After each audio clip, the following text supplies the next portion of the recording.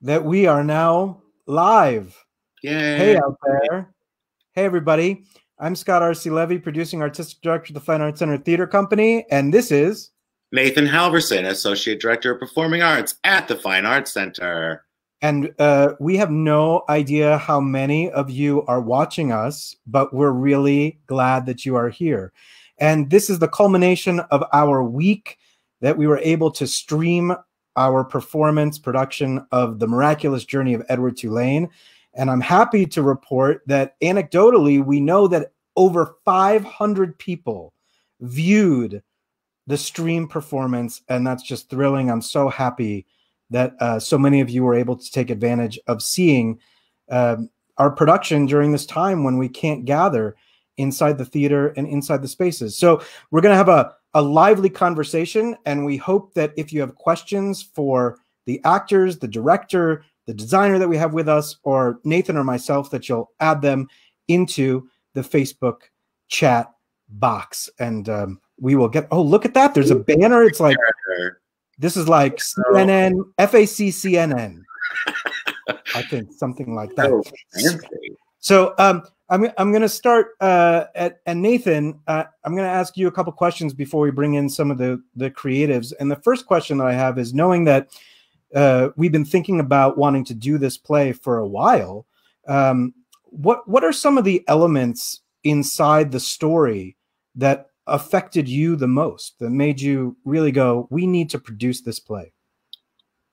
Uh, well, I openly wept at my desk about halfway through the play. I never even finished it, and I was like, "Oh, this play is everything. We have to do it." Um, you know, we've been trying to, how do I say, like, broaden the scope of the kinds of work that we can do upstairs for the young people, and this seemed to make perfect sense.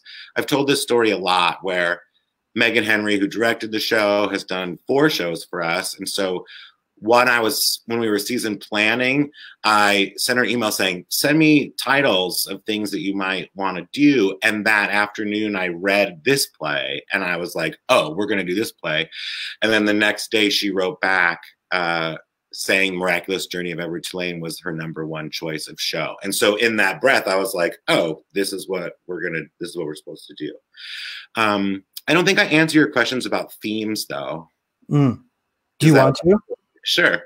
but before you do, I think just just in case there are people watching who who don't know exactly what you meant by upstairs, the the production of Edward Tulane took place in our 99 seat theater that is on the second floor of the Fine Arts Center, and um, and the performance that you watched via the stream was the final performance that we were able to give before uh, the shutdown commenced, and it was a an audience full of a student matinee audience. I believe they were a elementary school crowd that that was in there. But back to the question, what were those first themes that made you cry at your desk or that really affected you? Well, the things, I mean, since most people I think that are watching have seen it now, I mean, it's all about love. I mean, that's all it is. It's about how love makes the world better, uh, love of the fellow humans in the world, love of personal friends, of family, like fills you up and makes you better. The lesson that Edward has to learn is a powerful one.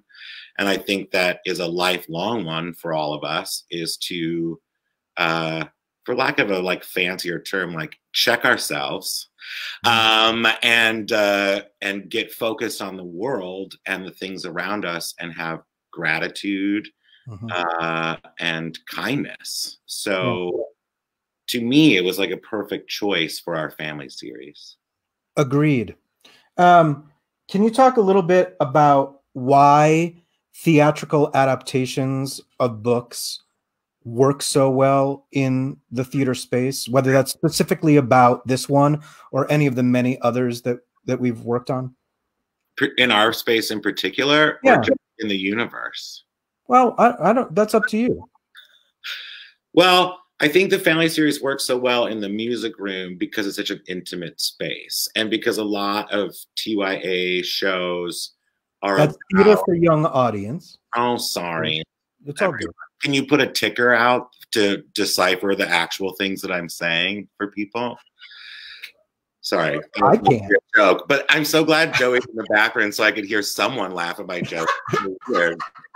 Um, uh, no, so there's an intimacy uh, up there for our young folk, and so much of the show, so much of the shows we do that are adaptations are interactive. Mm-hmm. So we want the child or or the viewer, the the to be engaged, and sometimes we ask them to talk back, and sometimes we go into the so like that room really plays well for these kinds of shows.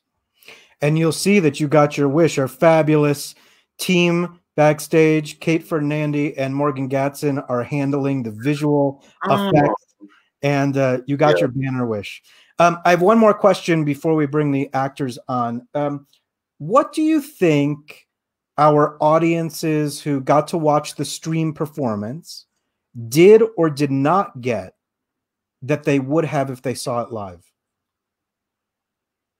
Ooh, well, that's like a really big question about the state of the American theater in quarantine. Yes.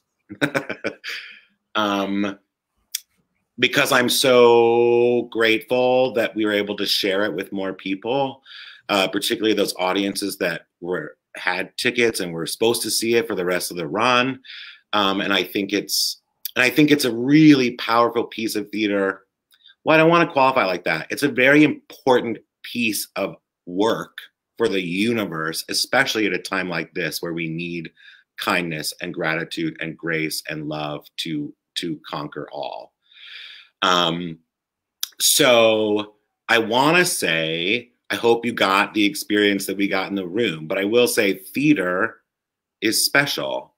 That congregation of humanity to to share a space of empathy and understanding um, can't be translated, I don't feel, to the screen as well as it can be done in the room. I mean, I watched the video and I cried my eyes out, and I got a lot of texts from people saying that they cried their eyes out. So I know that they were moved and I know that they had that experience. But what I would say is in that room, it was probably more electric mm.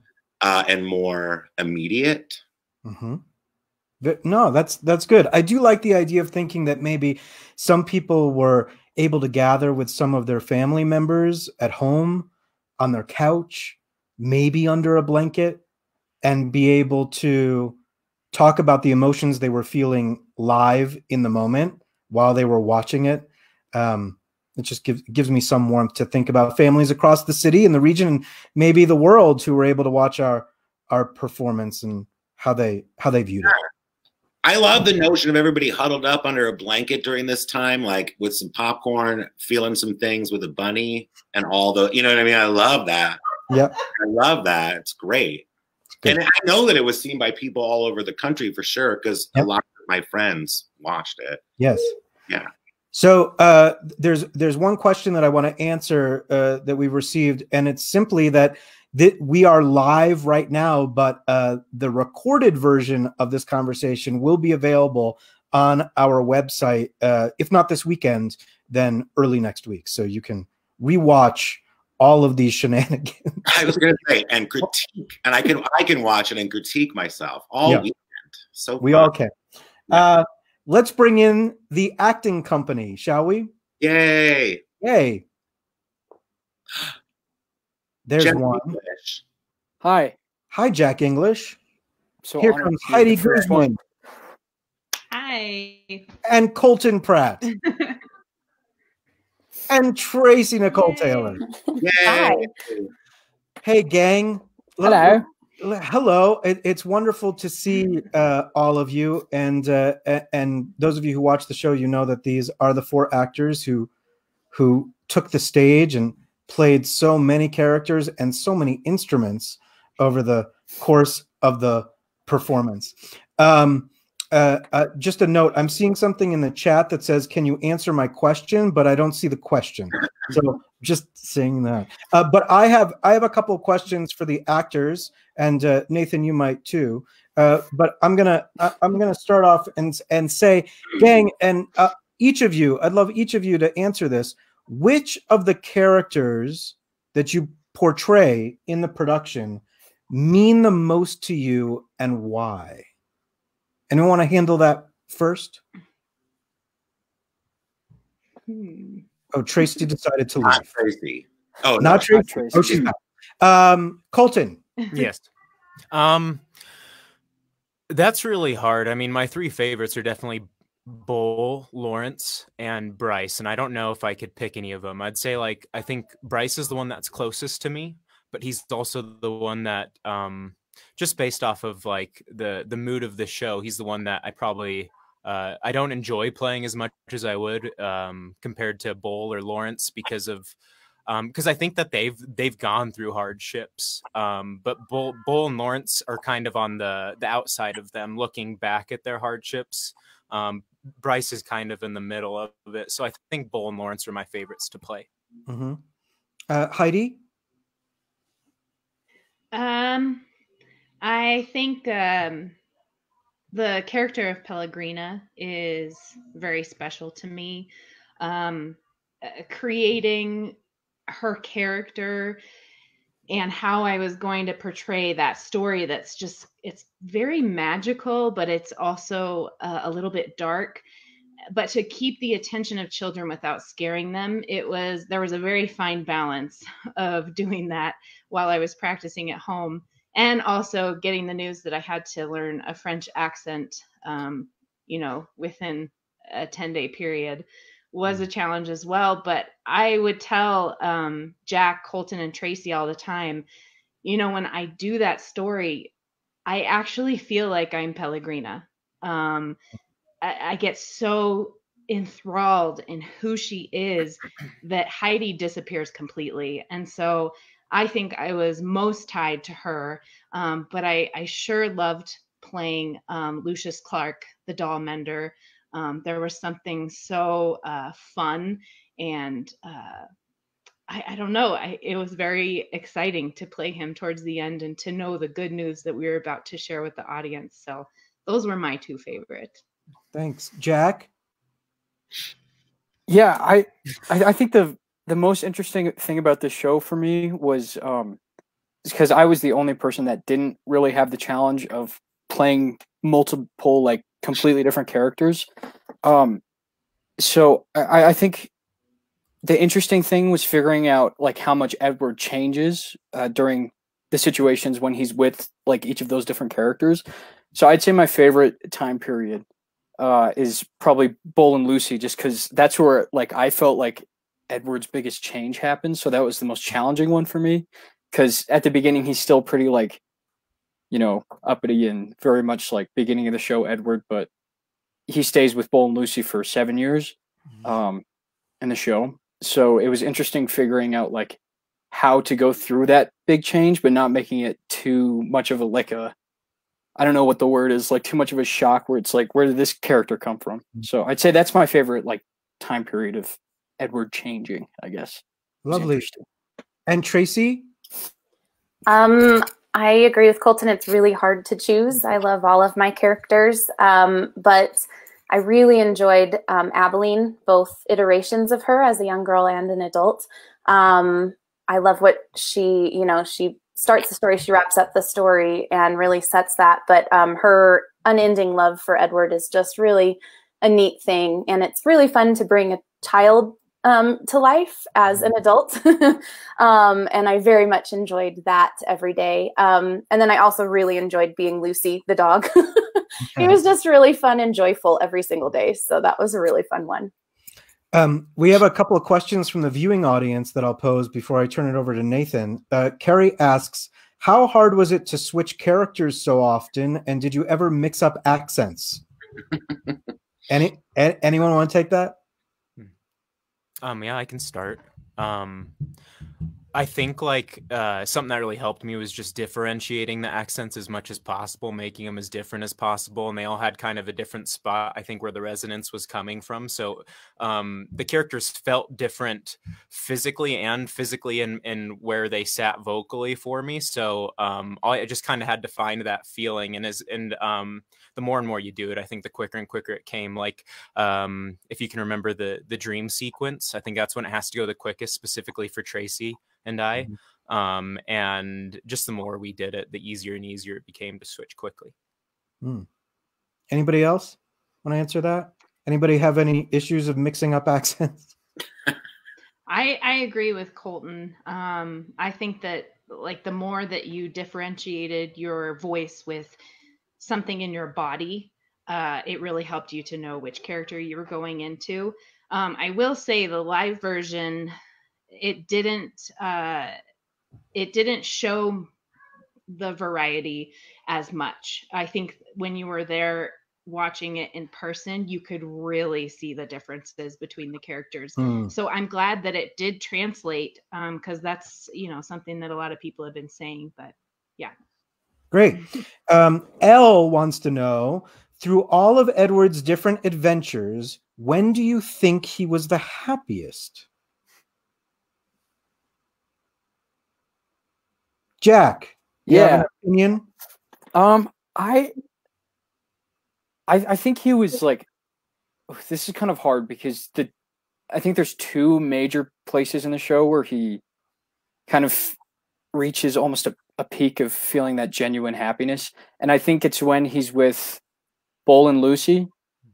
Um, again, I say that just because I mean that that was my favorite part of the show to do, just because that was just pure friendship and him kind of shedding his entire ego and really just having a true uh, friend with those two people. Um, I call Lucy a people because that's how that's how I see her. Um, and I, I think the very end of the show when Abilene comes in, just because that's right after the peak of Edward's sadness, so he kind of goes from you know all the way up here sadness level. I don't. I wish I had better words, but um, kind of to wallowing in that period of sadness for a really long time in the doll shop to seeing Abilene just out of nowhere, she just comes in one day. He kind of, I, I, I that's where I felt the most happiness in the show was right there when he sees Abilene again. Great. Uh, Nathan, you have a question for the gang? Well, I don't know about you, but I am struggling with not like bursting into tears listening to you guys talk and looking at you. I don't know. Like I loved this place so much and I loved you guys' work so much. So hmm. like sitting here and reminiscing about it and talking to you is making me very emotional. So I'm sorry, I'm going to try to get out of that. I like that the people on the bottom of the screen painted their walls to match each other so that you guys look so we, we had a set designer in there to like make it so uh, elegant. Um, no, I, I wanted to ask because in the theater we don't get this experience very often to then watch ourselves, right? Like theater is something that is finite usually, so you do it and then it's done. So watching the the stream, I'm wondering how you guys felt. Hmm. Yeah, go ahead, Jack. I'm gonna answer that first because I didn't watch it because I was too scared to. I don't know. It's like part of it is I, I feel like if I watched it, I'd be really really sad, and then another part is, um, I feel like seeing myself on camera is always like very weird for me because I know everyone has that thing with their voice where hearing your voice recorded is like, you like what? I didn't know I sounded like that. So I'm I don't know. I've been too. I, I might watch it still. Um, You can't anymore. oh well, You know some people. well, yeah, I I have connections. There's a, Yeah. a certain a certain uh, Harrison member of the, that family that might help me out. But um, yeah, no, I haven't watched it yet. I've been too scared. So, what what did did you guys watch it? What'd you think? I'll go. Um, it was beautiful, and I didn't think that I would be emotional because I had experienced it, and I was more emotional than I had expected. Um, and it was amazing to watch. It was a little hard to step back and watch it as an audience member and not see it as all of the things that I had to think of through the show as I was doing it. Um, but it was a beautiful experience to get to see what all of you were doing behind me or to the side of me when I couldn't usually see what was going on on the stage. Um, that was amazing because I got to see the full picture instead of that little bubble that I live in, you know, as I'm going through my part. So it was just a lovely experience to get to see the whole thing. Yeah, I was Feel able. same To, way, Colton. sorry, yeah, I do. Um, I got to watch it with my wife uh, yesterday, and I think like like to kind of piggyback on what Jack was saying. I think that like if I were to have watched it a week after um, having done it, it would have been a little bit harder and I would have been a little bit more critical of everything I was doing specifically. Um, but being able to step away from it for a little while, and I text them uh, something about this last night. Um, but being a way to to step away from it and then um, almost enjoy it as an audience member um, because uh, you know I don't remember everything we did, um, so I wasn't like thinking forward when I was watching a show. I was enjoying it presently more, and um, I, uh, like Tracy was saying, uh, we kind of got to see the whole picture instead of the little bubble that we lived in and um, I just thought it was such a beautiful experience. And hearing what Rachel had to to talk to say about it was awesome. And I think I just I appreciated it from a completely new angle.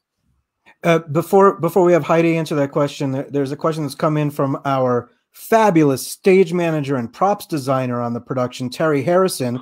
And Terry specifically asks Colton, did you have a different experience watching it than when you could hear your daughter in the audience talking about you, daddy. yeah, that was funny, funny. Um, Rachel and I were laughing at that so hard because the thing she kept on saying was, "What? What is he doing?" and, I think she was being a harsh critic, and I love that. Tell us how old your daughter is. She is three years old. She'll mm-hmm. be four in September. Um, and yeah, she she loves watching both uh, um, Rachel and I perform, and uh, yeah, it was it was really fun to listen to. But I was like, oh gosh, I'm so sorry, everybody that's listening to this right now. Yeah. And Heidi, any thoughts about watching the recording? Yeah, you know, um, all of us have so many lines, and um, a lot of times, a lot of times, like I'll be sitting there and I'm like, oh, I got a really big monologue coming up and so I'll really be in my head about the the lines that I have to do. And so when I was watching it back, I was like, "Oh, that doesn't seem so bad." You know, no no big deal. But then like thinking about being on stage, I'm like, "No, that was that took me a long time to memorize that." So I'm glad it translated as just, "Huh, it's this thought that I have and I'm just going to say it." So, yeah. Super. Nathan, do you have another question for the gang? Well, I do, but I it's about the music creation, so I don't know if we want to do that yeah. now or. I, I think that's great. In fact, uh, if our fabulous team could put Jack and Heidi backstage for a drink of water for a minute, and we'll uh, leave. Uh, uh no, I mean, oh, I said that wrong, didn't I? Let Let's have Jack and Tracy here and take Heidi and Colton out. Thank you. And um, uh, Nathan, go. I bet you have a similar question that I have, but go yeah, ahead. well, I mean, lots of people don't know this, and I think that we'll talk to Megan about the audition process. But everybody came in having to play instruments, whatever instruments you might have, uh, and the music that you heard in the live stream was completely created by the by the team. M- most of it shouldered by Jack English and Tracy no, that. Wheeler. So I'm wondering what you guys, what that experience was like for you. And I'm also, it's so interested in how seamlessly you had to go from acting to grabbing a cello to grabbing this to still acting to, I, you know what I mean? So I want to talk about both those things. Yeah, it was, yeah, creating the music was so much fun. Like I, that was probably you know up there with my favorite parts about the show is because that's such a unique thing that like I've never done before for a show, and I don't know like like I don't know if that, that'll like necessarily happen again anytime soon in the future. Um, so it was just it was a really cool opportunity to be able to do that and to work with Tracy because I've been in shows with Tracy before, but never been like this involved uh, and like this close with. It, it was just like so much time spent okay sorry um it's weird because like most times in a show when i when i take a break i like go backstage and look at lines or kind of chill by myself but during this show um every time there was a break it was like like go talk to megan or go talk to tracy like what do we think of the music here? Like uh like how can we add? Or maybe we don't need music at this part. And it was this like constant cycle of uh working and collaborating that it, it, yeah it was just amazing i loved it yeah it was really enjoyable to like create something based on a scene because um, we basically would say what do you want here? And Megan would kind of give us the mood and the feel and um, the idea that we were going for. And then we kind of noodled, for lack Yeah. of a better word, and improvised until we found something that we liked. And then we built from that. Um, but it was such a collaborative process and it was so enjoyable to do that. And I, I feel like the music, I mean, the score that is that you can do with this show, I read through it and I just feel like our music was more organic because of the process that we took to get to that. And I very much enjoyed the full process and then getting to do it every night on stage was Yeah. so fun. Yeah, no, Um, I it was just so much. Oh, I'm sorry. It was No, just go so ahead. much like the music was just so involved and so I feel like if we did do music from another show it would have been fine or some like somebody else's music it would have been fine. But just cuz the music was so like connected with the show, it, it almost it was built with the show, which was I think the best part about the music was was that it was created as we created the show. And that's I my mean, favorite part about it. that music about the constellations I still hear it all the i mean it's so beautiful and it's so specific to our production Mhm. yeah it's you guys are brilliant I, Yeah. I, I'll remind our audience that you can still catch a sample of some of the music uh, that that Tracy and Jack composed on the Fine Arts Center Connect webpage. You can take a look at uh, a, a, a later draft of one of the of one of the finale pieces on the Mhm. show. Um, before before I put you guys backstage and and bring the director on, a couple of questions from the viewing audience. What came first for each of you, music or acting? Tracy. Um, music. I started singing when I was really young and dancing.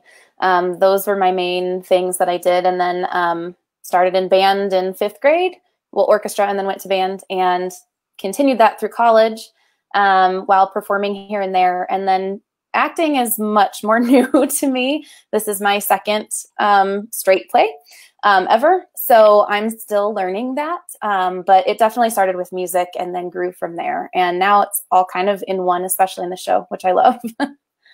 Uh, Jack, music or acting? Which came first? Um, oh, I, they kind of happened at the same time.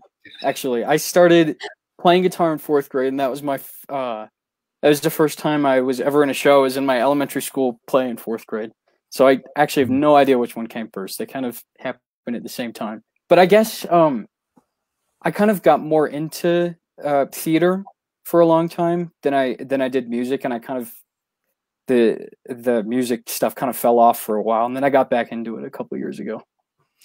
We have a we have a couple more music related questions from from our audience. Solveig asks, were the sung parts added or were they part of the script?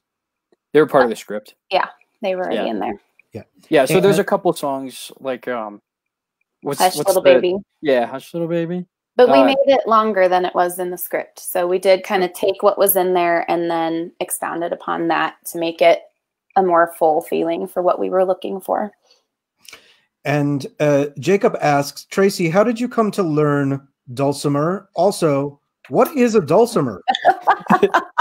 um, a dulcimer is a three-stringed um, folk instrument, um, and I came to learn it when I was first starting to teach. I'm a K through five elementary music teacher, and um, my first year I went to every single workshop I possibly could get to, and one of those workshops was dulcimer playing, and so that Mhm. that came in handy for this show. Great. Thank you, Jack. Thank you, Tracy. Yeah. We'll see you again before the broadcast is over. And uh, let's welcome Megan Henry, director of this production, The Miraculous Journey of Edward Tulane. yay Hi, Megan. How are you? I'm good. I almost forgot to unmute my camera. We're good. Uh, tell tell everyone where you are um, live streaming with us from. I am in Kansas City, Missouri. Yeah, and uh, you you live in Kansas City because you're not only uh, a director of plays at the Fine Arts Center, but you are also I'm also the producing artistic director of Mesner Puppet Theater, which is housed out of Kansas City, but serves people. Well, we, we did serve people nationally. and and you will continue to do so. Um, for people that are interested, can you tell us what the web address is of the Puppet Theater? yeah, mesnerpuppets.org. Um, it's better to check us out on Facebook though, because that's where we post lots of little puppet videos and instructional things. So you find us on Facebook. We got all kinds of cute stuff out there. Great. Um, I'm gonna I'm gonna ask you a question from the audience, um, and the question from Judy is: Do you think people experience what Edward experienced? Hmm. I think there's a turning point where people experience what Edward experiences, and I and I think it's aligned with what Jack was saying about when he finally eases into himself and starts connecting with people. I think then people start experiencing the play through the eyes of Edward. I think before then, there's a little bit more of an objective feeling around, well, something's not quite right with that rabbit. Uh, and, and you know you're you're kind of trying to understand him. And then i think you start to sort of become edward as you watch the play because we have all had friends that make us feel that way and we have all lost and we have all found. And i think that's sort of um, the shifting point. Hmm. Um, Nathan, wh- what do you want to know from Megan? Yeah, I have lots of things I want to talk to Megan Yeah. about. Well, I mean, I also, you know, I was thinking this when you asked that question. I was like, well, I mean, isn't that the human experience? Is that if you allow the people you encounter to change you, if you breathe them in, like that's what he does. It's like you, he eventually learns to take in the lessons from the world around him. Mhm. Like, what's more human than that, really? Mhm. That's just my two cents. Um, uh, well, I wanted to talk about. I wanted you to talk about how we started um, distance auditioning before distance auditioning was a thing. we're so hip I know we were like really ahead of the curve here. Yeah, so I um I had moved from I used to live in Colorado for a while and I had just moved back to Kansas City right before these auditions happened and I was like Nathan I'm still doing this show. There's no way I'm not doing it. Like I'm coming back. And so we arranged to have me fly in um in like November maybe. So I flew in. We were or, and we were ready. We were like going to do it. And then there was a crazy blizzard and auditions were canceled. And i just hung out with the stage manager terry for a couple of days little mini vacay. And then we uh, when i got back nathan and i were talking about like well, what do we do? He said i could just cast it. And i said i would be comfortable with that. He's like but it's your show. Don't you want to have input? And i was like well of course i do. Uh, so we decided that we would zoom people. I don't, we we didn't use zoom then. What did we use? Google? If we have known, if I had known Zoom was the way of the future, we would have done those auditions through Zoom. We Yeah. tried a thousand different ways, and I don't remember what we landed on. But we tried Google Hangout and we tried Skype. I don't know which one worked, but Yeah. uh, so every actor would have to come in and, and Nathan had me sort of set up on a little computer screen that they could, I think, see. yeah, And uh, I asked them questions and we talked and they brought their instruments and then played. And it was interesting because they were so engaging, this group of four, even via Skype, um, that I could, you know, I cast a lot based off of the feeling I get from people. And I, and I'm really looking for people with big heart, even not just for this play, for any play. Um, I always want, I want people to fall in love with the people on stage. And you can often tell that right away from an audition. And so these folks translated the screen for me that way. And then I got to meet them and I was like, so in, some of them I knew already, but many of them I fell in love with for the first time. so yeah, Yeah. it's cool. And it's sort of funny that it is ending this way. Right. I mean, I was looking at it as like a bookend almost to the Yeah. beginning because you weren't in the room with them at the beginning, and you are not today, and it's it's kind of interesting that way. Yeah. um, I, this is a really big question that I wanted to talk about, and we can try to parse it down.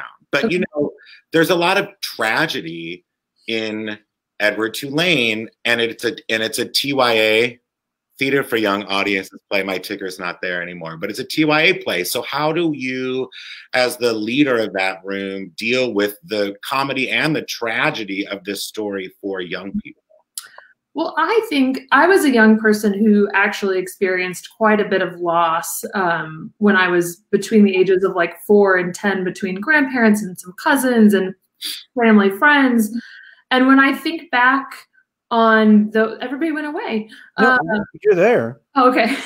uh, when I think back on that, I think about, well, those times were hard and sad, and there was a lot of tears, but there was also joy and comfort and camaraderie and lots of laughter. And so I think that's sometimes where TV and movies can get it wrong is that they they just land too heavily on the tragedy of it. And so we talked a lot about how there will be sad moments, but even when you're grieving, you can laugh and you can you can find um, humor and you can find connection with people. And so I think that was sort of the constant thing of going back and being like, how do we honor the emotions of young people and what they're experiencing while also not painting the picture that like when bad things happen, your life is over.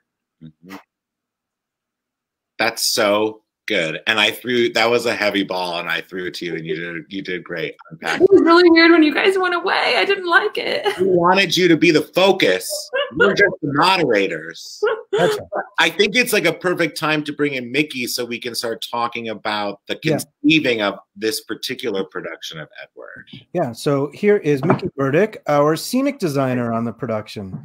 And uh, uh, hey, Mickey, and if if you- if you don't mind, I I have a question, um, it, and and this is another big question. So maybe um, I don't know. Think about a couple of examples, but if you could speak a little bit about the, some of the choices you made together in the collaboration before you even before we got into the rehearsal period, in knowing that we had to have the the the world that the play would exist in. Um, what was that process like between the two of you, and what were some of the choices that you're really proud about that finally got realized? That is a big question. Um, you know, it was it was such a, a great collaborative experience. I I took a lot of inspiration, particularly early on, from Megan has a great vision and she has all these images in her head. Um, and she was very thorough in putting a lot of those images together down on paper, sending different images out to the production team. Things that might not be explicitly what we ended up on, but just things like oh, this picture of stars inspires me in some way. Um, these waves, I want to do something with waves. And as we went through iteration after iteration, we went back and forth several times. Um, we kind of narrowed it down to what I thought she was really going for, tried to distill it down to what the truth of the show is for her. Um, and so from that point, we had a lot of really kind of um, juxtaposed we, we liked the hardness and the warmth of wood, but we also liked the cool, soft, fluid lines of water and kind of playing those off of each other. And so it was really a, a balancing act between a lot of different elements to try to put that together. But yeah, we were in touch pretty pretty constantly through the design period uh, to make sure that that everyone was signing off and that we were all moving in Megan's, uh, you know, the, the direction that Megan had kind of set for this production. And, and we should give a shout out to Ginny True, uh, and Aiden Murphy. Ginny was the costume designer, and Aiden was the, the lighting designer, and the uh, aforementioned fabulous Terry Harrison, both stage manager and properties designer. So the the the whole team made that world possible. Nathan, what do you got for Mickey and Megan together? Well, I'm so curious based on what Mickey said. I thought, of course, the design was beautiful, and I think it looked great on the stream too. Like Mhm. it's really, really stunning. But uh, Mickey mentioned Megan's. Uh, what did you say? Great vision, vast vision, what have you? Like, what, what were some of the things that you brought to the design team at the beginning of what the visual world would be? So I always like to put together sort of like a collage of images that when I when I'm looking through things make me feel like the play. So like Mickey said, they're not necessarily literal, but one of the things that really struck me was the idea of a winding road and the movement of waves. Um, and, and the idea that um, this world is not a literal world that we are in, and how do you create something that has lots of dynamics but also doesn't get you stuck anywhere and what i particularly loved is that mickey created this set that we had talked through all these locations of where things could happen. But he's such a great collaborator that I'd come in and be like, okay, but like, what if it's not there in that really great movie bill? And what if we um, end up using these trunks in all these different ways and then end up cutting all of that? Um, so i think like the initial conversations about what we were trying to do allowed us to collaborate so much smoother in the end. And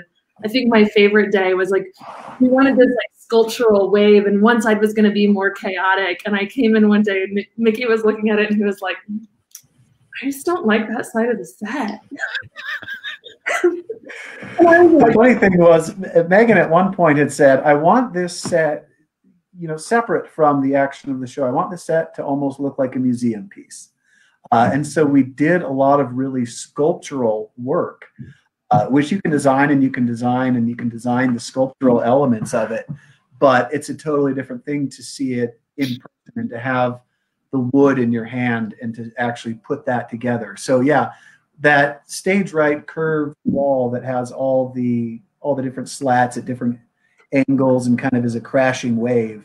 Uh, that was the second version of it. We had about two weeks before opening. I went in and it was done, and I thought it's not perfect yet. So we ripped it out and uh, and tried to get it better.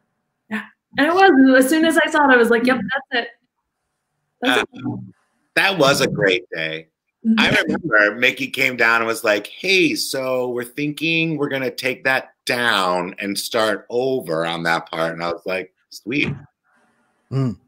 Uh, I, I think what's really wonderful uh, uh, uh, about this set and about many of the sets for the plays that we do in our 99 seat space is is the ability to make that world feel so much bigger than it actually is, and uh, and because there are so many times in Edward Tulane where we are in exterior locations, that I keep saying this idea of the world and and feeling like the world was ever present, I think is a testament to to your collaboration mm-hmm. and um, and and and the ability to make that tiny amount of playing space work for those four actors and all of the instruments and the rabbit.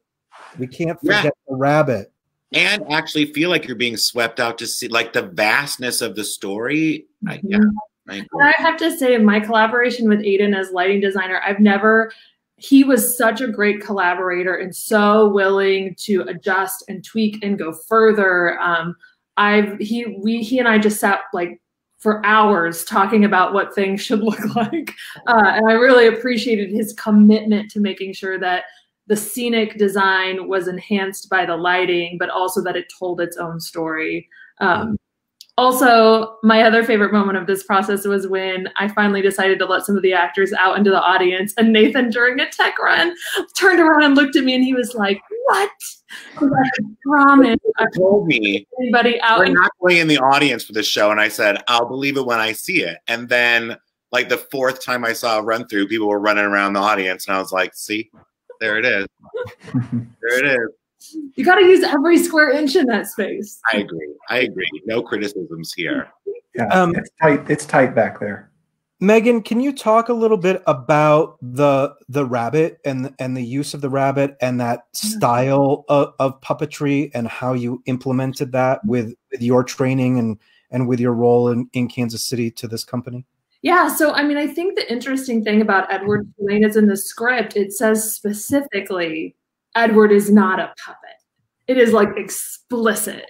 Uh, but you also know that that character has to come alive. And so one of the things about puppetry that you're always trying to do is infuse the soul of the actor into the puppet, right?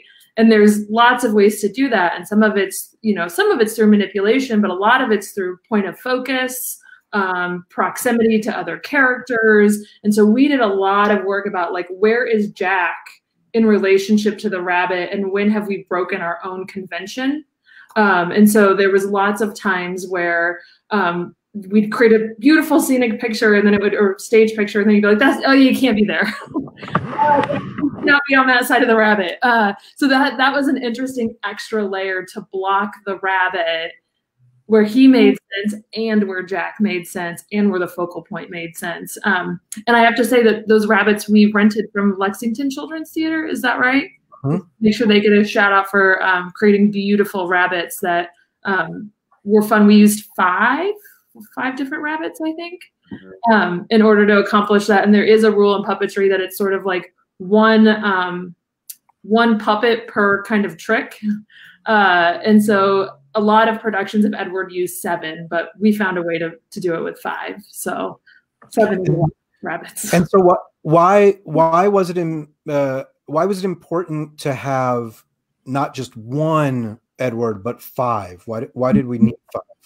Well, I think you want to see Edward change in the story, right? Like we could have left him in the same costume, but I think part of change is physical, right? Like there's no change that we go through as human beings that isn't also a physical change in some way, um, especially when you're going through an emotional change or a change in age. And so I think that the differentiation of the costume helps us to go on that journey, even though very little in the play is literal.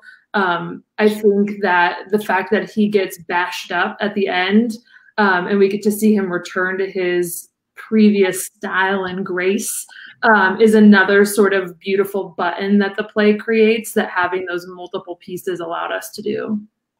Great. I, I would love to ask that same sort of question to the actors, but before we make a switch, Nathan, did you have uh, another question for for Megan and Mickey? I just want to thank you for the beauty and the power of the work. It's so good. So good. You should be so proud. Thanks for letting me. Thank you. It was a joy to work on it. Yeah, I loved it. Indeed. So, well, let's uh let's put the two of you backstage for for a few minutes and see if the audience has any questions for you, and we'll bring the actors back on.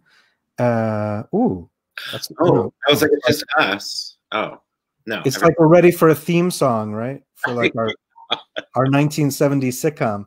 Hey gang, welcome back. So so we were just as you probably heard from backstage, we're, we're talking about rabbits and and and I wonder if um if you could talk about what it was like to interact with um what when you're not using it is an in, inanimate object. So what was it like performing as or with um Edward? I'll start. um, the weirdest part about being in the play was never being able to acknowledge Jack's presence on stage. And so we would always be like talking to him, and it felt like after a while, like the sounds were coming from the rabbit. So it was like Jack's not even here. um, but I I think that the hardest part for me with the rabbit was making it not look crazy, especially during the ocean scene. Um, and Megan is excellent at work, like helping you with your body placement as you're trying to move something across the stage. And I really appreciated that. Um, and just trying to keep the magic alive and make the children on, you know, that are in the audience think, oh my goodness, he magically changed. And that that was a challenge but also exciting and fun and for me personally we got to have my three kids come and watch the show before it actually went up on stage and um, they had some suggestions about the rabbit and how like maybe you should do this so it's a little bit more magical so i appreciated getting a child's perspective Mm. Anybody else? Jack? Yeah, I mean, it was definitely, it was definitely uh, a very unique. Again, everything about the show was just like this is the only show that this has ever happened, and everything about it is the like first and maybe only time. Um, but yeah, it was weird getting used to it because like even during rehearsals, it's like okay, let's rehearse this part of the scene. There were a lot of times when I would make eye contact accidentally with one of the actors uh, and then it's just like okay we know that can't happen again because i'm not here like this whole time. I, I i'm not here. Um yeah it was it was very interesting to have everybody talking to something that's not me and then responding to them um so i think it made some of the lines kind of difficult like um scenes where it's me and another character kind of rapidly responding to one another because you can't have that that eye contact, like face to face interaction with them, because that's what makes it easy in a lot of other uh, situations. So it was weird getting used to it, but after a while, it was it just felt supernatural, like not supernatural, but very natural. Um, that it's like kind of you know putting myself in the rabbit's perspective. It was it was really interesting. Yeah. Tracy, you you danced with that rabbit quite a bit in a way in the show. Uh, how was that? It was nice. The um, puppets had a really nice weight to them, so they um, had good movement and they had a good feel in your hands. Um, and um, I don't know, you just have to like really embody, especially as as playing a young girl, um, that that puppet and that doll is real. You know, mm. I think Abilene really viewed Edward as a fellow child that she was with, and so you have to really um, go at it from that. So it didn't, you know, it didn't feel any different than dancing with a human other than, you know, Edward can do everything I tell him to do. I don't have to follow him. Um, but it was fun. Colton, any other thoughts on that? Um, yeah. Uh, I remember at the beginning it was really hard not to just look at Jack because I wanted to see all the things that he was doing with his face um, because he is very expressive. Um, but as the, the process went on, um, I think like Jack started doing more and more with his voice, and it made me not need to look at him as much because I could hear what he was doing with his face, is what it felt like. I mean, he was really projecting that onto the rabbit, it seemed, and um, yeah, it made it not as necessary. Great. Um, uh, as, as you can see from the ticker down below, we have like uh, just a few more minutes. If you have any more questions uh, for any of the artistic team, the actors, the director, uh, Mickey, the scenic designer, put them in the chat and we'll get them to us. There, there is a question that's come in that is specific for Tracy, but I'll ask it for all four of the actors. Tracy, what was your first show? Uh, my I, first show ever? Yeah. Um, my first professional show, I mean, I did things in elementary school and things like that. Um, but my first professional show was Swing at the Country Dinner Playhouse long time ago in 2006. And my first show at the Fine Arts Center was Crazy for You back in 2010. How about you, Colton? Oh, this is funny. I know I talked to Tracy about this before too. My very first show was uh, my junior year of high school was also Crazy for You, the musical. Yeah. Heidi?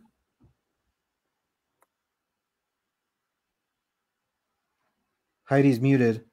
Maybe we'll go to Jack. Jack? Sure. Um sorry to steal your thunder, Heidi. Um but I my very first show ever I no, that's not true. I didn't start theater in fourth grade. That's not true at all.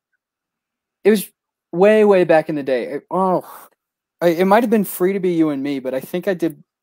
I think I did some before that that I cannot remember. Um, I don't know. My my earliest one that I remember really well is uh, Willy Wonka. Was I did that in the fourth grade. Um, that was a lot of fun. Uh, Heidi doesn't want to answer the question at all. Heidi's um, gone. Nathan, what was your first show? like in my life or yeah. like or like got paid for it right the question is what's what was your first show uh, my first show was this like alice in alice in wonderland play of some kind that i did when i was like in like second grade or something i i have a memory when i was in kindergarten we did a play that was broadcast on public access tv and it was about the nine planets and i was mercury and because we stood in a line I was cut off on the TV screen. It made me oh, no, boo. I know. I was going to ask one more quick question. Yeah. Being a witness to your room, I you guys were very collaborative. Uh, it seemed like right from the beginning, and I didn't know if maybe you could speak to what that was like I feel like Megan is a very inspirational director in that way of like making sure that your voice is heard. Yeah, um I think I think part of the reason why this like shows process well, hi uh Heidi, sorry. Um part of the reason why the show's process was so um I, I guess I, it was very like healthy process, I guess is the best way to put it, because it was so collaborative, even from that first day coming in uh, we kind of just sat down and talked to one another and got to know one another. And um, like even with the music on the very first day, I brought in my guitar and I was like super nervous for some reason, and I pretty much forgot how to play like all instruments and knew nothing about music. Um, but yeah, yeah, Megan made it a super uh, inviting and again, like just very healthy environment. So, Colton, you were up there, yeah. Yeah, um, I remember. I think it was the very first day. Megan came in and she asked us a whole bunch of questions, kind of just about how we work as actors, just to kind of figure out how to work around us individually. Um, and I think that kind of set the tone for she's here to work with us and to advocate for us and what we need um, to uh, to put on the show. And I think she also um, said something along the lines of, you know, like, or j- just opening up the room to where we can make suggestions. And this was one of the processes where I felt the most comfortable and safe saying, Hey, I don't like what I'm doing right here. Can I suggest something else? And she would always let us try something. And if it didn't work, we'd find something else. But she never like, she never said, "Hey, I need you to do this." Um, mm-hmm.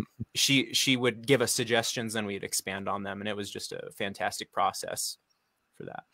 Since since Heidi's back, Heidi, can you answer the previous question? What was the your first show? Um, my first show ever was in junior high. I was in eighth grade. I was in school for nerds, and I was a nerd. I mean, why wouldn't I be? Yeah, perfect. Um, and my first professional show was actually with the Fine Arts Center. I did the Stinky Cheese Man, and um, Megan was the director, and I'm guessing the last question was kind of like working with her. Was it was the... about collaborate the collaborative spirit of the room. Oh yeah, I feel like first of all, Megan is such a good judge of people and how they work together. And so even in Stinky Cheese Man, it was just like we were instantaneously friends, and she set that up. Um, and I felt like she did the same thing again with this show. She saw us and how we would connect, and boom, we made magic. And we have a lot to thank uh, Megan for because she put that stage up for us. And then, I mean, like, I felt like it was the pieces just fell into place. It was awesome. It's uh it, it's beautiful hearing all of your voices and, and thank you for all of your thoughts. It's it's getting time for us to take our curtain calls. So, uh, actors, give a wave. Thanks so much for joining us, actors, and uh, we'll we'll send you away and bring Megan and Mickey back just to say goodbye.